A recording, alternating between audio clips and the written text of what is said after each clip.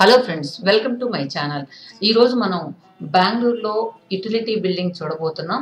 యాక్చువల్గా పర్టికులర్గా ఈ బిల్డింగ్ ఎందుకు మీకు చూపిస్తున్నానంటే అది చాలా సంవత్సరాల క్రితం కట్టింది. ఇది ట్వంటీ ఫైవ్ ఫ్లోర్స్ ఉన్న బిల్డింగ్. ఇది మేము యాక్చువల్గా నైన్టీన్ నైన్టీ టూలో ఈ బిల్డింగ్ ఎక్కాలంటే చాలా సంబరంగా ఉండేది. ఎందుకంటే ఆ రోజుల్లో అంత హైట్ బిల్డింగ్ బెంగళూరులో ఇదే కావచ్చు. ఎందుకంటే ఇది నైన్టీన్ సెవెంటీ ఫోర్లో కట్టారంట. ఆ రోజుల్లో కూడా అంత హైట్ కట్టాలనే ఆలోచన వాళ్ళకి ఎందుకు వచ్చిందో కానీ కాకపోతే ప్లేస్ మాత్రం ఎక్కువ లేదు. కొంచెం తక్కువ స్క్వేర్ ఫీటే ఉంటుంది ఒక్కొక్క ఫ్లోర్ కూడా. అది ట్వంటీ ఫైవ్ ఫ్లోర్స్ కట్టి అప్పుడు మాకు చాలా ఆనందంగా ఉండేదన్నమాట. అక్కడికి ఎప్పుడైనా ఇది ఎంజీ రోడ్ అంటాం మహాత్మా గాంధీ రోడ్ బెంగళూరులో ట్వంటీ ఫిఫ్త్ బిల్డింగ్ మీద నుంచి కింద వ్యూ చూస్తే ఎలా ఉంటుంది అని చెప్పి చాలా సంబరంగా ఉండేది అప్పుడు మాకు.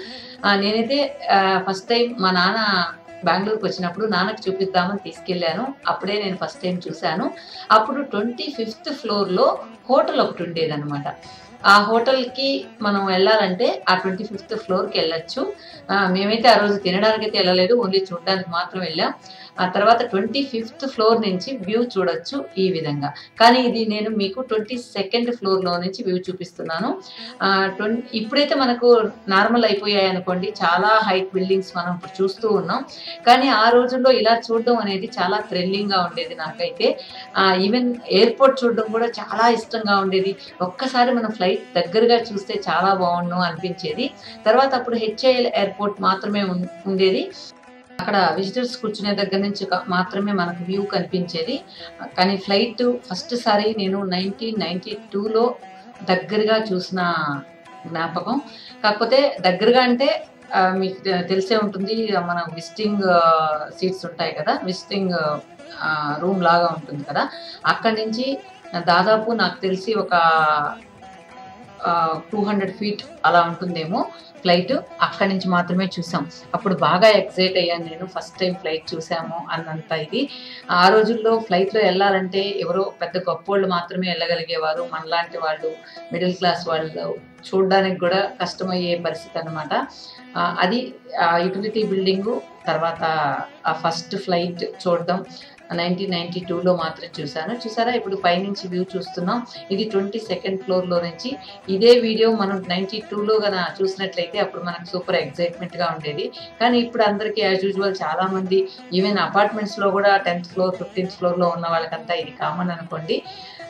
నాకైతే ఎందుకో ఆ యుటిలిటీ బిల్డింగ్కి మొన్న ఏదో ఒక వర్క్ మీద వెళ్ళాం. ఆల్మోస్ట్ ఇప్పుడు యుటిలిటీ బిల్డింగ్ మొత్తం కూడా గవర్నమెంట్ ఆఫీసెసే ఉంటాయి కానీ లోపల చండాలంగా ఉంది.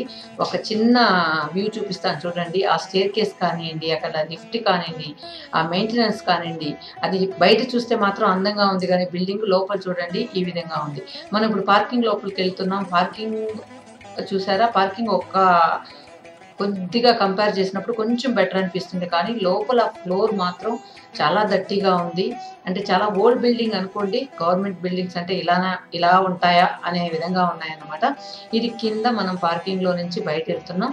అలాగే బయట మనం రోడ్లో కొన్ని కొన్ని బిల్డింగ్స్ చూస్తూ వెళ్ళిపోదాం. తర్వాత ఇంకా నాకు ఎందుకో ఈ బిల్డింగ్ చూడంగానే మీతో ఈ మ్యాటర్ షేర్ చేస్తే బాగుంటుంది అని చెప్పి నేను షూట్ చేయడం జరిగింది. ఇంకా చాలా విధాన విధాన్ సౌద కావచ్చు కొన్ని కొన్ని బిల్డింగ్స్ కూడా చాలా సంవత్సరాల ముందు కట్టినవి. ఇప్పుడు చూసారా ఇక్కడ నుంచి వ్యూ ఎంత బాగుందో కదా. మనం ట్వంటీ ఫిఫ్త్ ఫ్లోర్ నుంచి చూసినప్పుడు ఎలా ఉంది ఇప్పుడు ఎలా ఉంది కింద నుంచి చూసినప్పుడు ఎలా ఉంది మనం చూడొచ్చు. తర్వాత మనం విధాన్ సౌద అవి కూడా చాలా బాగుంటాయి. చూసేందుకు మీ అందరికీ చాలామందికి తెలిసే ఉంటుంది.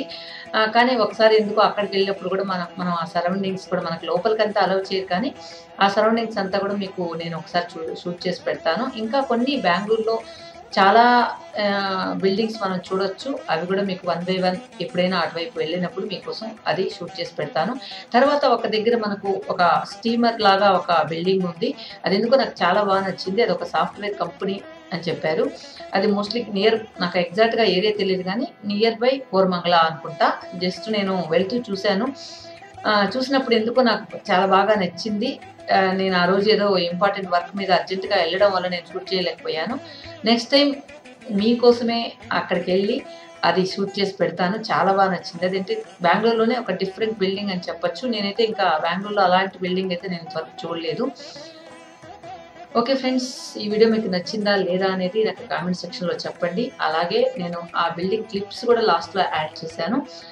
అంటే ఎందుకు ఇది అంత ఇంపార్టెంట్ అంటే నైన్టీన్ సెవెంటీ ఫోర్లో కట్టిన బిల్డింగ్ అంత హైట్లో కట్టిన బిల్డింగ్ ఇది అవ్వచ్చు. Okay friends. The fakeness. If you wanna play tough and wanna hate this I'll always show up. I don't ever slow up, no I don't take shit. I got no love for the fakeness. If you wanna play tough and wanna hate this I'll always show up and make a statement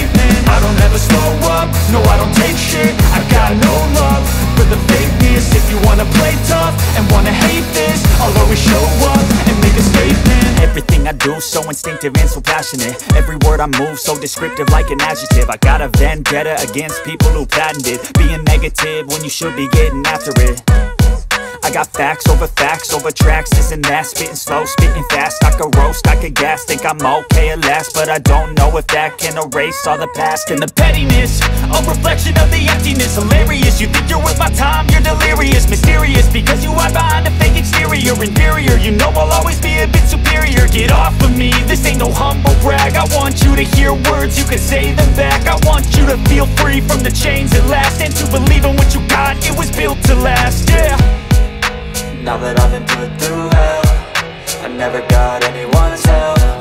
I had to do it all myself.